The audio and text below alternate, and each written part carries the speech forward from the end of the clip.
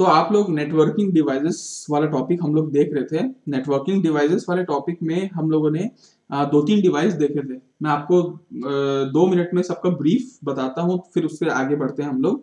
Networking devices में जो इस्तेमाल होता है मतलब एक नेटवर्क कंप्यूटर नेटवर्क क्रिएट करने के लिए हम लोग कौन से कौन से डिवाइसेस का, को, का इस्तेमाल करते हैं, वो हम लोग इस पूरे पोर्शन में देख रहे हैं। तो इसमें हम लोग स्टार टोपोलॉजी में अगर आपको ध्यान होगा तो हम लोगों ने एक डिवाइस का इस्तेमाल किया था जिससे सारे बाकी जो नोड्स हैं वो कनेक्टेड थे और वो थे शायद हब या स्विच। तो हम लोगों ने हब देखा। हब एक बिल्कुल नॉन इंटेलिजेंट डिवाइस होता है जिसमें जितने भी डिवाइसेस कनेक्ट रहते हैं, अगर ए को डेटा डी तक पहुंचाना है, मान लीजिए तो वो ए से लेगा और सबको बांट देगा।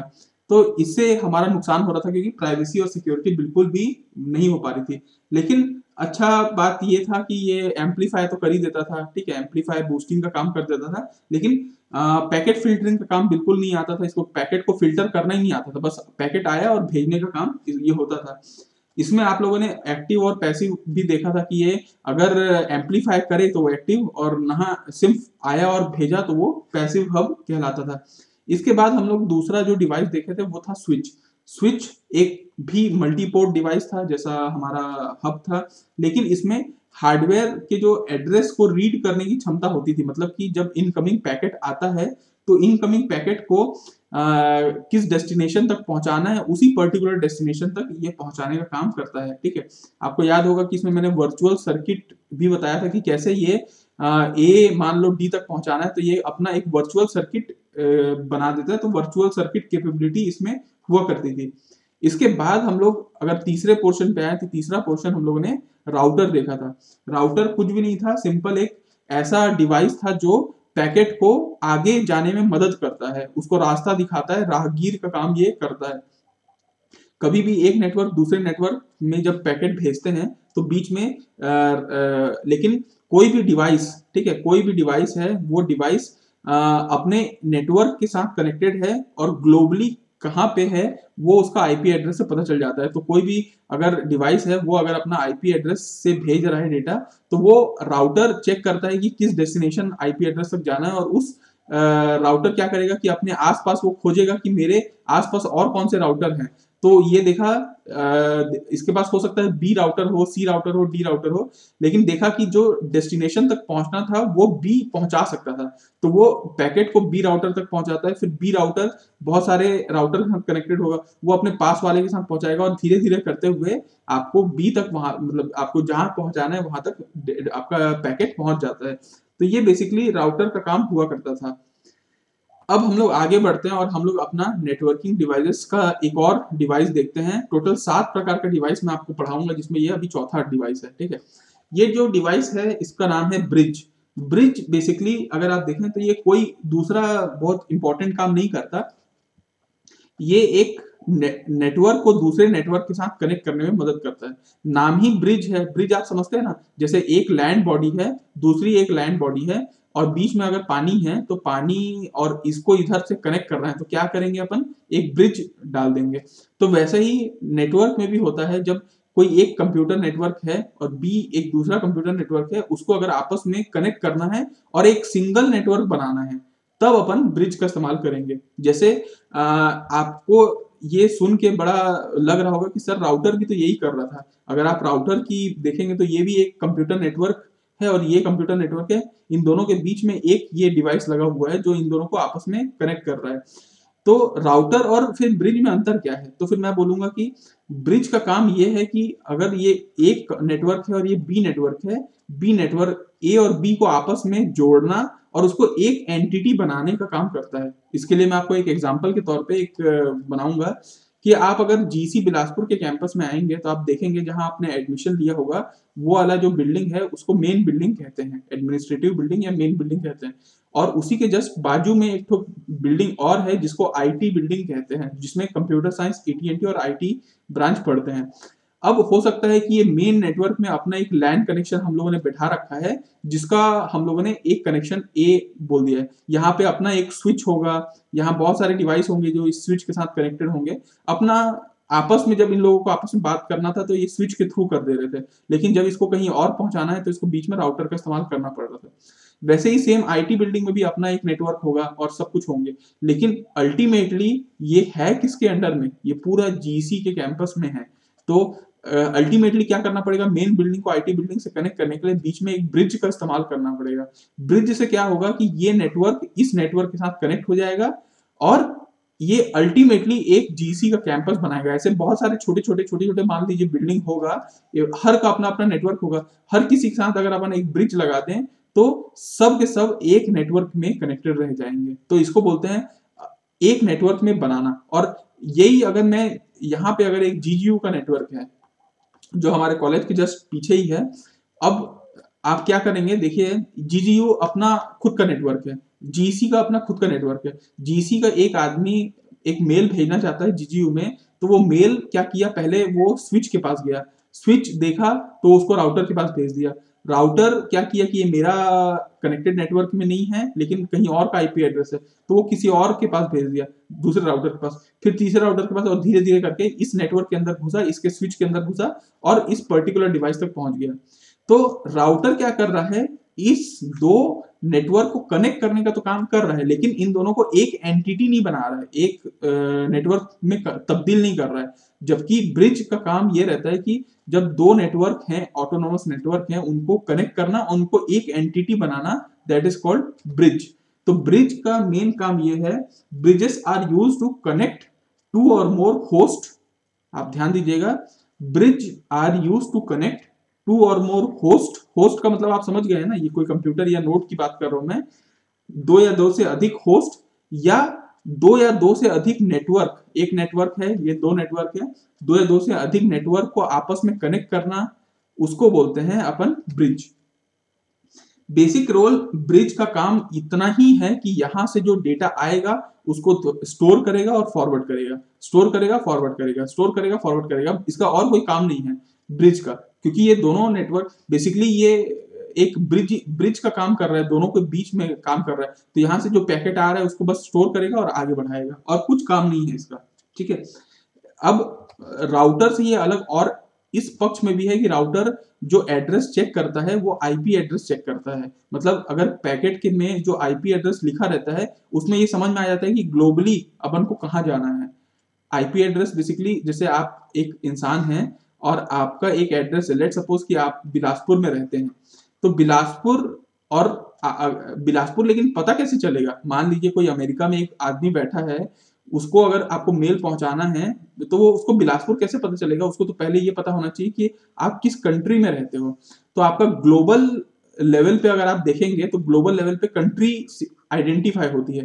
कंट्री लेवल पे आप जाएँगे तो आपको एक स्टेट फिर स्टेट के अंदर डिस्ट्रिक्ट डिस्ट्रिक्ट के अंदर आपको सिटी आइडेंटिफाई होती है। तो वही चीज़ मैं आपको बताना चाह रहा हूँ कि दो टाइप का एड्रेस आप लोगों को मैंने पहले भी बताया है। एक है आपका आईपी एड्रेस और एक है आपका मैक एड्रेस तो मैक एड्रेस होता है फ़िज़िकल एड्रेस जो आपके डिवाइस का एड्रेस होता है फ़िज़िकल और आईपी एड्रेस ग्लोबल एड्रेस होता है लॉजिक एड्रेस होता है, जो आपको एक पूरे इंटरनेट की दुनिया में आपको एक एड्रेस प्रोवाइड करता है कि आपकी लोकेशन कहाँ पे है। तो कोई भी आपके आईपी एड्रेस से पता कर सकता है कि आपकी लोकेशन कहाँ पे है। मैक एड्रेस ये पता नहीं हो पाता।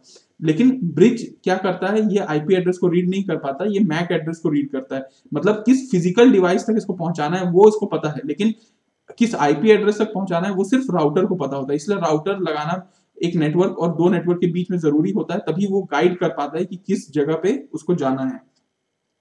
तो आपका ये जो ब्रिज ब्रिज का काम है, ये आप लोगों को थोड़ा थोड़ा समझ में आ रहा होगा कि ये राउटर से कैसे अलग है। ठीक है? इसमें देखिए ब्रिज आजकल मार्केट से आउट हो चुके हैं। इसको आप लोगों को इतना डरने की ज़रूरत नहीं, क्योंकि ब्रिज आजकल अलग से नहीं आते। क्यों क्यों नहीं आते? क्योंकि देखिए, अगर मैं एक नेटवर्क के बीच में, दूसरे नेटवर्क के बीच में अगर ये जो राउटर है, राउटर में ही अगर मैं ब्रिज डाल दिया, या फिर अगर मैं स्विच है, मान लीजिए ये जो स्विच है अपन इस्तेमाल कर रहे हैं, स्विच में ही अगर मैं ब्रिज का काम कर डाल दिया, ब्रिज का जो फ़ंक्शन है वो इसमें डाल दिया तो मेरे को अलग से डिवाइस खरीदने की क्यों ज़रूरत पड़ेगी? मैं एक स्विच लगा दू बीच में मतलब एक नेटवर्क है, एक नेटवर्क के बीच में यहाँ स्विच लगा दिया और दूसरे नेटवर्क को कनेक्ट कर दिया। तो हमारा काम आसान हो गया। तो अलग से आजकल ब्रिज मार्केट में नहीं चल रहा है आउट ऑफ़ फेवर हो चुका है और मल्टीपोर्ट ब्रिज आ चुके हैं। मल्टीपोर्ट मतलब एक ही ब्रिज नहीं मल्टीपोर्ट ब्रिज आ चुके हैं जिसको हम लोग आम भाषा में स्विच भी कहते हैं। तो अगर आप स्विच कोई बोलता है आपको तो स्विच में आप ये फ़ंक्शन भी जोड़ सकते हैं कि ये एक ब्रिज का काम भी करता है, ठीक है? अब हम लोग आगे का एक डिवाइस देखते हैं, जिसको बोलते हैं गेटवे गेटवे आप लोग बचपन में या कभी भी सुने होंगे। Gateway to this gateway to this that मतलब एक ऐसा रास्ता जहाँ से आगे की मंजिल चालू होती है, उसको अपन गेटवे बोलते हैं, आम भाषा में, हिंदी भाषा में। आप यही देख लीजिए गेट का वे ठीक है? जो हम लोगों को आगे का रास्ता दिखा सके गेट के, में पहुँचने के बाद, कोई भी द्वार में पहुँचने के बाद आगे का जो रास्ता बता सके दैट इज़ कॉल्ड गेटवे तो गेटवे अगर आप उसमें देखें तो देखिए, आप यहाँ पे एक फिगर देख पा रहे होंगे, ये एक ऐसा डायग्राम है, ये ये एक इंटरनेट है, मान लीजिए। ये पूरा आपका इंटरनेट का दुनिया है। मॉडेम क्या होता है, वो अभी आपको मैं नेक्स्ट जो टॉपिक है उसमें मॉडर्न बताने वाला हूँ। लेकिन अभी आप ये समझिए कि ये एक नेटवर्क है इंटरनेट की दुनिया। ये वर्ल्ड वाइड वेब है, जहाँ पे पूरा सर्वर सब स्टोर है, सब कुछ है, ठीक है। ये आपकी दुनिया है, जिसमें आप यहाँ पे अपना कॉलेज के कैंपस में आप यहाँ पे काम कर रहे हैं या अपना ऑफ़िस का कैंपस है, वहाँ काम कर रहे हैं? आप मान लीजिए आप ए हैं बी हैं सी हैं डी हैं, चार व्यक्ति हैं, चारों के पास अपना कंप्यूटर है। आपको पता है कि कोई भी कंप्यूटर या कोई भी ऑफ़िस के अंदर में या कहीं पे भी छोटे से नेटवर्क में उन लोग क्या होते हैं, जब मल्टीपल डिवाइसेस कनेक्टेड रहते हैं तो उनके लिए हमको क्या लगाना पड़ता है? स्विच तो ये स्विच आप लोग वर्किंग तो आप समझ रहे होंगे। अगर ए को डी तक डेटा पहुंचाना है तो स्विच क्या करेगा? डी तक उसको डेटा पहुँचा के देगा। इतना आप लोगों को पता है। अगर ए को कोई प्रिंटर से प्रिंट निकालना है तो वो स्विच के थ्रू प्रिंटर से डेटा निकाल प्रिंट करके ला सकता है। ये अब आपस में खुश है। मतलब ये जो परिवार है, ये परिवार आपस में मस्त खुश है। इन लोगों को जब भी आपस में बात करना था, तब इन लोग आपस में बात करते थे। लेकिन इनको कभी ज़रूरत पड़ने लगी बाहरी दुनिया से मतलब इंटरनेट से ज़रूरत पड़ने लगी तो इन लोग क्या किए, इंटरनेट की दुनिया से कनेक्ट करना शुरू किए। तो ये एक नेटवर्क आप मान के चलिए, और ये एक, अपना एक नेटवर्क है मान के चलिए। इन दोनों का बात करने का तरीका अलग होगा। ऑब्वियसली यहाँ पे दूसरे तरीके से बात किया जाएगा, क्योंकि ये क्लाउड है। क्लाउड में अपना एक तरीका होता है, प्रोटोकॉल होता है। प्रोटोकॉल मतलब सेट ऑफ़ रूल होता है कि इस सेट ऑफ़ रूल से इन लोग काम करते हैं। आप इसको मान के चलिए कि ये चाइना है और ये इंडिया है, मान लीजिए। इंडिया वालों को कभी कभी कुछ चीज़ों मोबाइल मोबाइल फ़ोन की और क्या कुछ कुछ चीज़ों के लिए चाइना की ज़रूरत मान लो पड़ जाती है। तो चाइना में अपना काम करने का तरीका अलग होता है प्रोटोकॉल अलग होता है, हमारा अपना तरीका अलग है। अब इन, जब भी मान लो ये जो सुखी परिवार था, इसको बाहर, बाहरी दुनिया से कोई डेटा लेके आना था अब इनका प्रोटोकॉल अलग, इनका प्रोटोकॉल अलग। तो उसको कोई कन्वर्ट करने का तो चाहिए ना? मतलब चाइना को, चाइनीज़ को इंडिया से बात करने के लिए कोई कन्वर्टर तो चाहिए। तो ये जब एक नेटवर्क से दूसरे नेटवर्क को कनेक्ट किया जाता है, इस पर्पज से कि वो कोई जो डिवाइस है, वो उसको कन्वर्ट कर सके, उसका प्रोटोकॉल को या ट्रांसलेट कर सके, उस डिवाइस को बोला जाता है गेटवे तो गेटवे कोई ऐसा स्पेसिफिक डिवाइस नहीं होता। इस गेटवे उस हर डिवाइस को बोला जाता है जो कि कन्वर्ट करने में या ट्रांसलेशन करने में मदद करता है। ठीक है?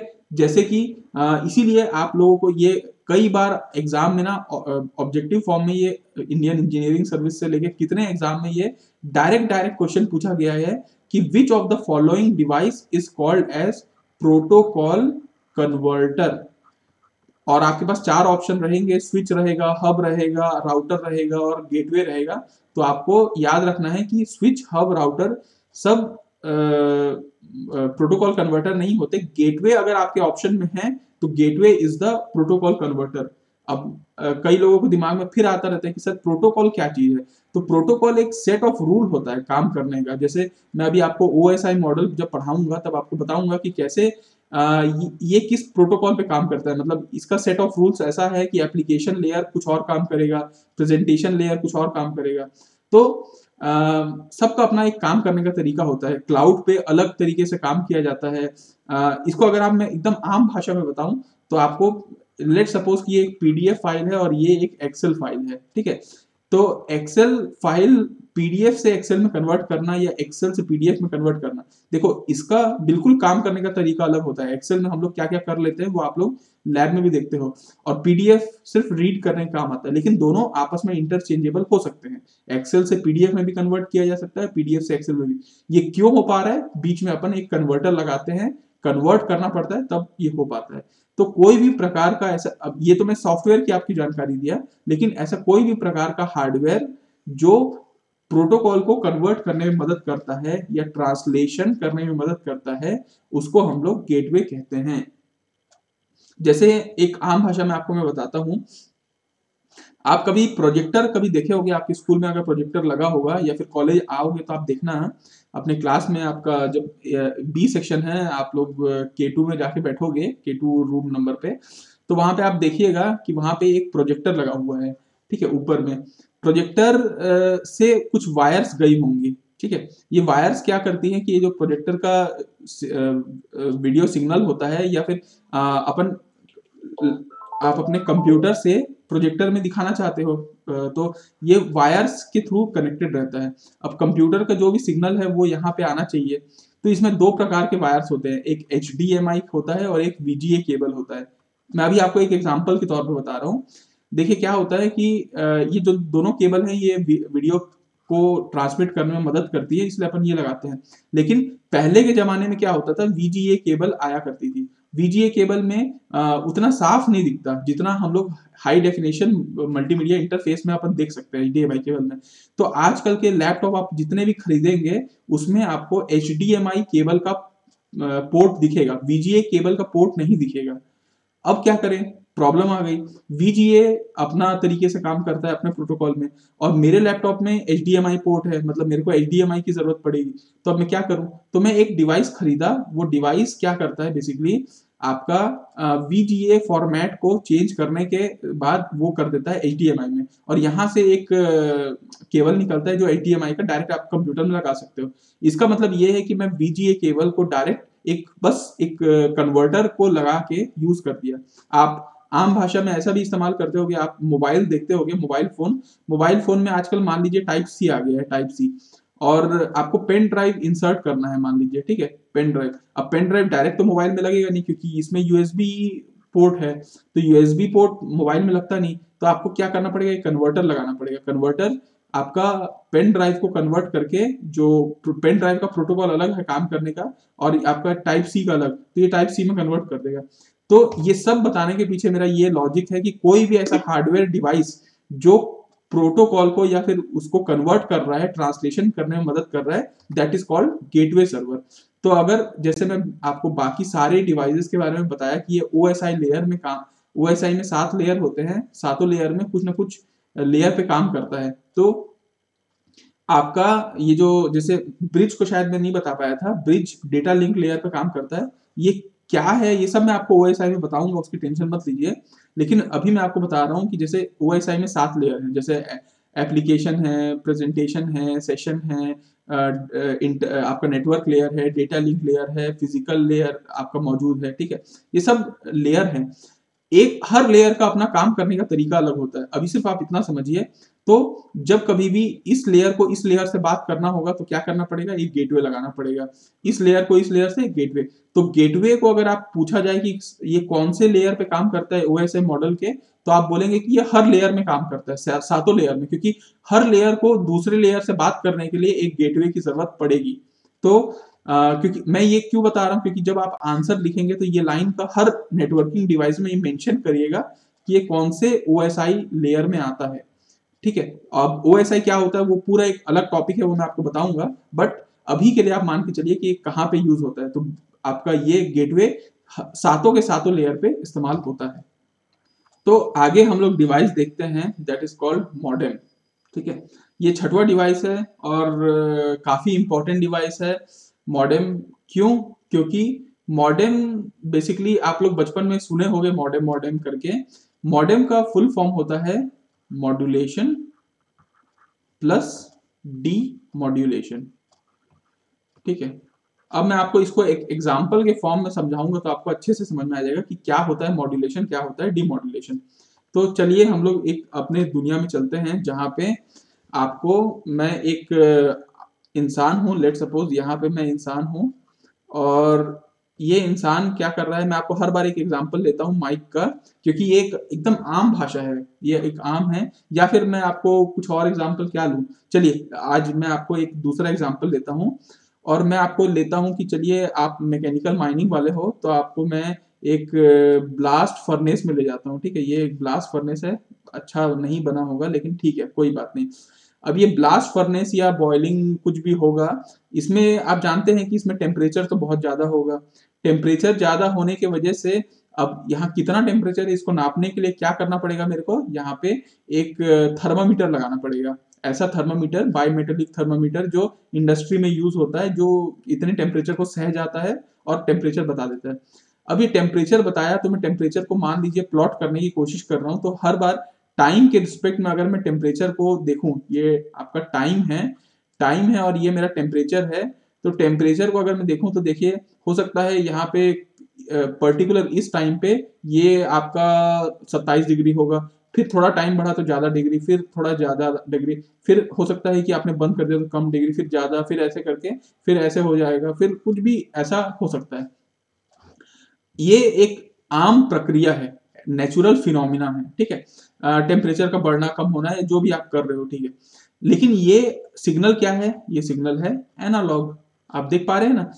एनालॉग और डिजिटल में आप लोगों को शायद मैं पिछले लेक्चर में भी बताया था एनालॉग और डिजिटल में क्या अंतर होता है कि एनालॉग टाइम के रिस्पेक्ट में हर पॉइंट में वेरी करता रहता है उसका एम्पलीट्यूड और डिजिटल सिग्नल क्या होता है कि आपका ऐसा फॉर्म पे होता है मतलब अगर आप टाइम के रिस्पेक्ट में देखें तो इसका जो एम्पलीट्यूड है वो वेरी नहीं करता। फिर एकाएक वेरी करेगा, फिर बहुत टाइम तक कांस्टेंट रहेगा मतलब ज़्यादा टाइम तक कांस्टेंट रहता है, लेकिन एनालॉग सिग्नल में हर टाइम पे जो एम्पलीट्यूड वेरी करे that is called analog signal तो आप ये सिग्नल देख पा रहे हैं कि एनालॉग सिग्नल है। अब इसको मैं कंप्यूटर में कैसे भेजूं?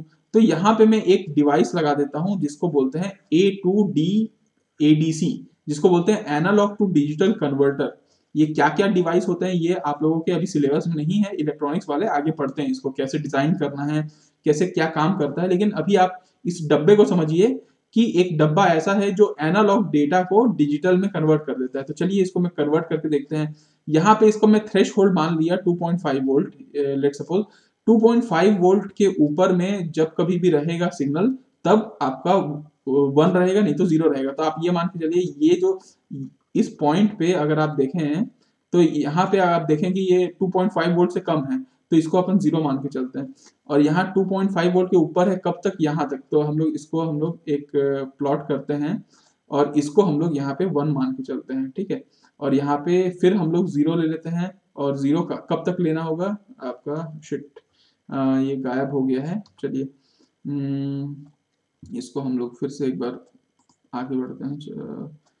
तो मैं आपको ये बता रहा था कि चलिए, वहाँ से अपन स्टार्ट करते हैं कि लेट सपोज़ आपका जो एनालॉग डेटा है, वो डिजिटल में कन्वर्ट हो गया। इतना आप लोगों को शायद अभी तक समझ में आया होगा। अब ये वन और ज़ीरो के फॉर्म पे आ चुका है वन ज़ीरो के फॉर्म पे आ चुका है, ठीक है? ये वन और ज़ीरो के फॉर्म पे जो डेटा आया है एनालॉग से डिजिटल में कन्वर्ट हो चुका है, इसको आप प्रोसेसिंग कर सकते हो मतलब इसको आप कंप्यूटर में भेज सकते हो डेटा को। अच्छी बात है कंप्यूटर में भेज दिए डेटा को। आपका जो नेचुरल फिनोमिना था, वो नेचुरल फिनोमिना एनालॉग से डिजिटल में कन्वर्ट होके आपके कंप्यूटर पहुँच गया।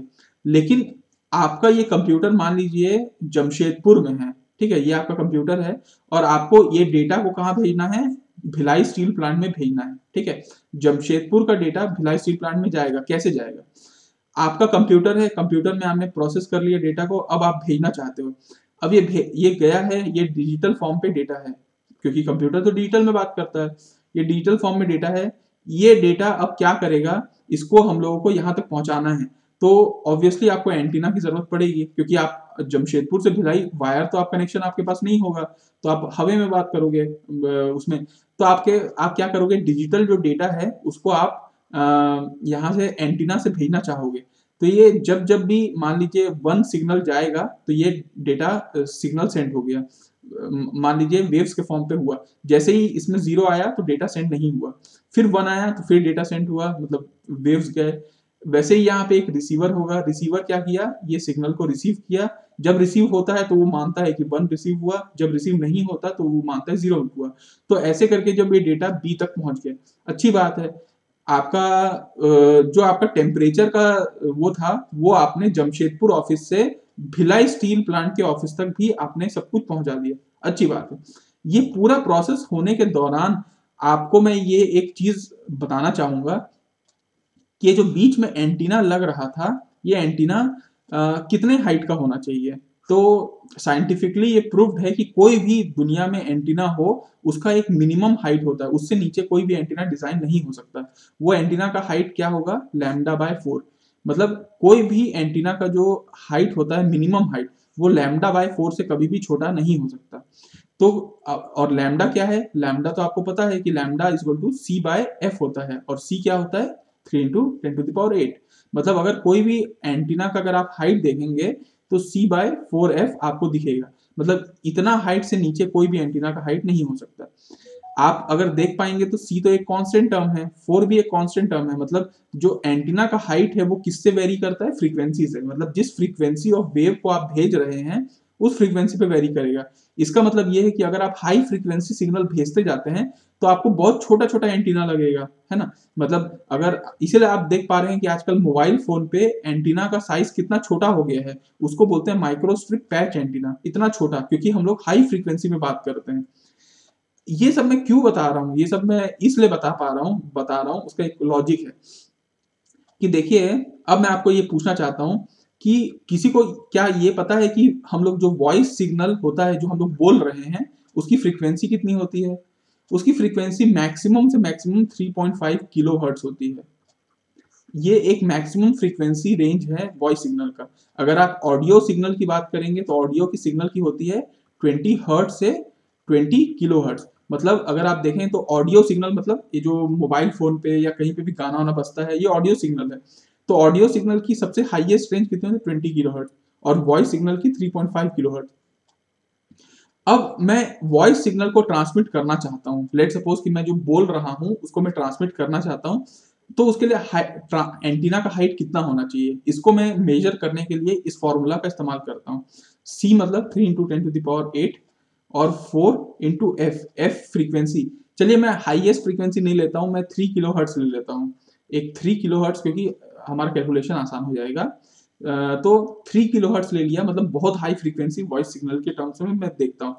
थ्री थ्री काटूँगा, ये अच्छा थ्री इंटू किलो हर्ट्स है ना? तो three into ten to three ये थ्री काटा तो ये बचा फाइव मतलब ten to the power five by अगर मैं फोर करूँ तो ये होता है twenty five thousand twenty five thousand आप समझ पा रहे हैं? ट्वेंटी फाइव थाउज़ेंड मतलब ट्वेंटी फाइव किलोमीटर। आप आ, कोई भी एंटीना का हाइट अगर आपको वॉइस सिग्नल ट्रांसमिट करना है वो भी सबसे हाई फ्रीक्वेंसी में बात करूँ तो भी आपको 25 किलोमीटर की हाइट आपको लगेगी। क्या आप इमेजिन कर पा रहे हैं इस चीज़ को? तो हम लोग क्या करते हैं? अब हम लोगों को ये दिमाग में आया कि अगर हम लोगों को वॉइस सिग्नल को डायरेक्टली भेजना है तो हम 25 किलोमीटर की हाइट का एंटीना चाहिए जो प्रैक्टिकली पॉसिबल नहीं है। तो हम क्या कर सकते हैं? हम लो फ्रीक्वेंसी सिग्नल को हम लोग एक काम करते हैं हाई फ्रीक्वेंसी सिग्नल के साथ मर्ज करके भेजते हैं। ये हाई फ्रीक्वेंसी सिग्नल को हम लोग कैरियर सिग्नल कहते हैं जनरली तो ये सिग्नल क्या करते हैं? ये मेगा हर्ट्स में होती हैं और ये मेगा हर्ट्स वाली सिग्नल इस किलो हर्ट्स वाली सिग्नल को कैरी करके लेके चलती हैं। और तब आप मेगा हर्ट्स वाली सिग्नल को सी बाय फोर एफ़ करोगे और यहाँ पे टेन टू दावर सिक्स रहेगा तो ऑब्वियसली इसका जो हाइट है वो कम हो जाएगा। तो आप कभी रेडियो मिर्ची सुने होंगे, कभी आप लोग 94.3 माई एफएम सुने होंगे। आप ये तो जानते हैं कि एक चैनल का नंबर होता है, लेकिन इसके आगे कौन से में ये होता है हर्ट्स होता है किलो हर्ट्स होता है या मेगा हर्ट्स होता है, कोई बता पाएगा क्या?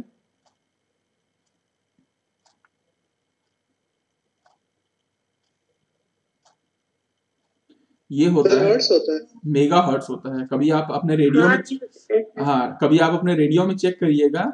ये होता है मेगा हर्ट्स तो 94.3 मेगाहर्ट्ज मतलब यहाँ पे ऐसा सिग्नल मेगाहर्ट्ज वाला कैरियर सिग्नल था 94.3 और उसमें आपकी जो वॉइस सिग्नल है वो कैरी होके जा रही है। इस पूरे प्रक्रिया को मैं क्यों समझा रहा था? क्योंकि ये जो सिग्नल लो फ्रीक्वेंसी सिग्नल को हाई फ्रीक्वेंसी सिग्नल में कन्वर्ट करते हैं, इस प्रक्रिया को बोलते हैं मॉड्यूलेशन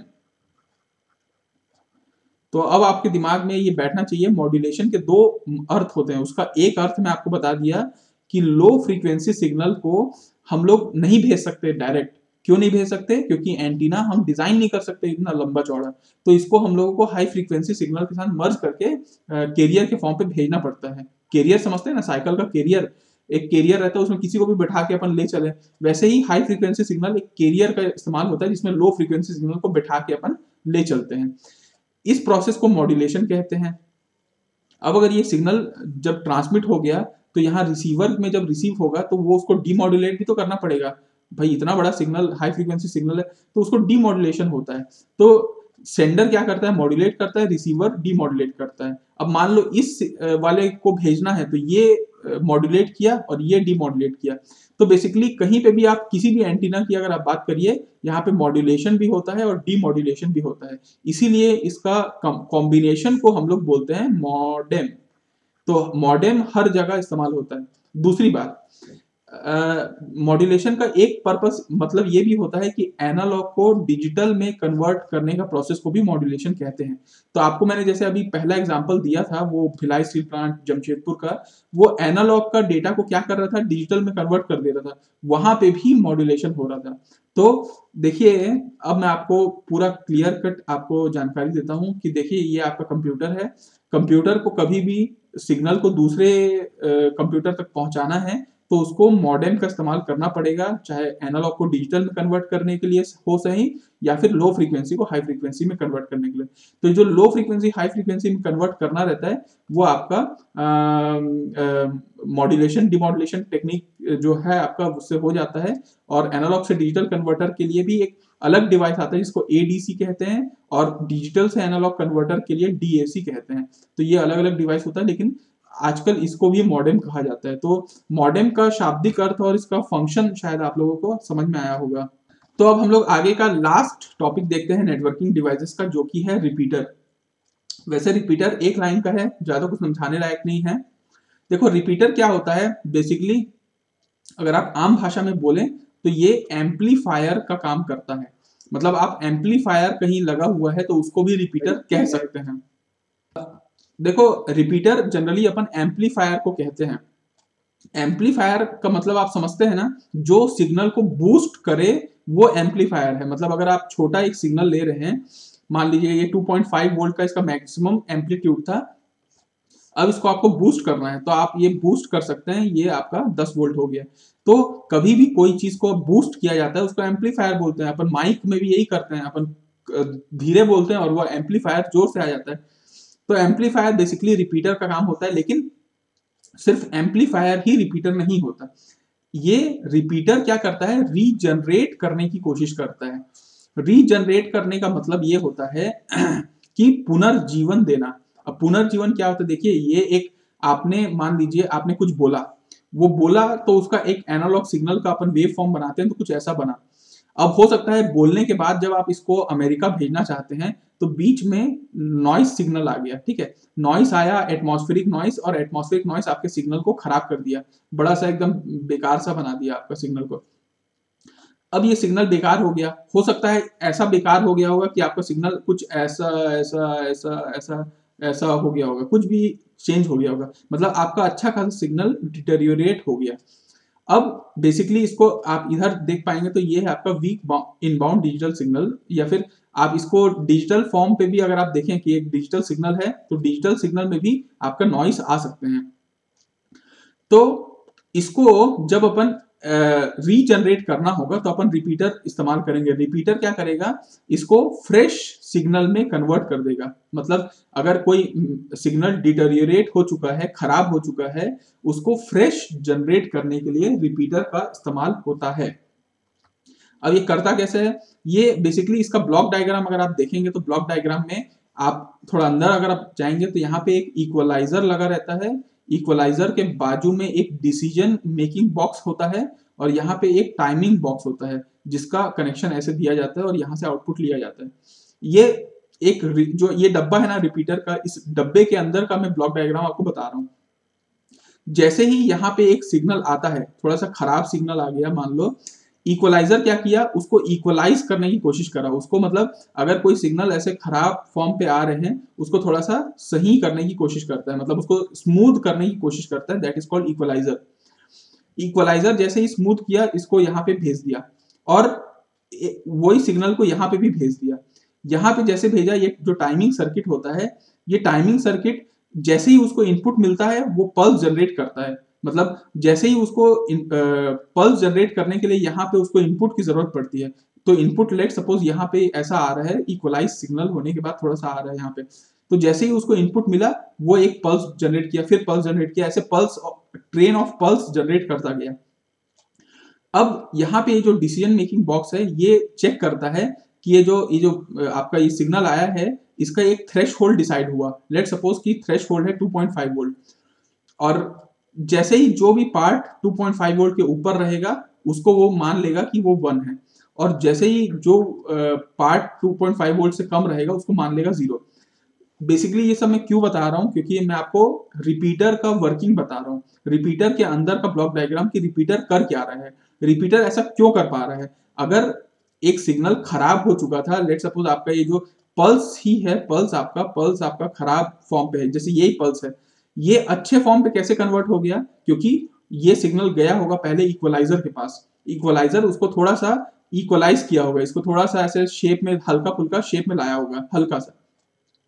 और उसके बाद इसको डिसीज़न बॉक्स के पास भेजा गया होगा। डिसीज़न बॉक्स टाइमिंग सर्किट से चेक करता रहता है कि अभी मेरे को डिसीज़न लेना है या नहीं लेना है। टाइमिंग सर्किट बोलता है कि भैया अब डिसीज़न ले लो तुम। तो टाइमिंग सर्किट उसको बताया कि जैसे ही पल्स वन रहता है तो वो डिसीज़न ले लेता है। जब ज़ीरो रहता है तो डिसीज़न नहीं लेता है।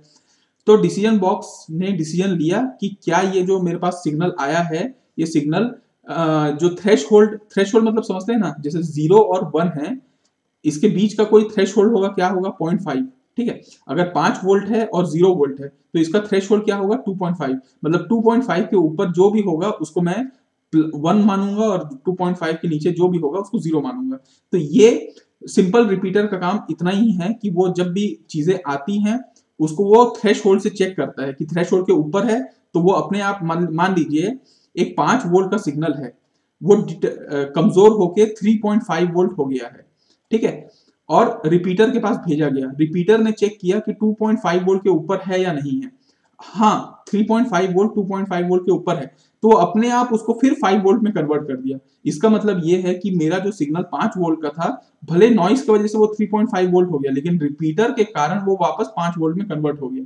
क्यों कर पाया रिपीटर क्योंकि उसके पास एक डिसीज़न लेने की बॉक्स है। वो डिसीज़न एक थ्रेश होल्ड के बेसिस पे डिसाइड करता है कि मैं इसको वन घोषित करूँ या ज़ीरो घोषित करूँ। तो इससे एक फ्रेश सिग्नल फिर से जनरेट हो जाता है। तो रिपीटर का काम यही है, एक इलेक्ट्रॉनिक डिवाइस है जो एम्पलीफाई करने का काम करता है और रीजनरेट करने का काम ये करता है। आई होप आप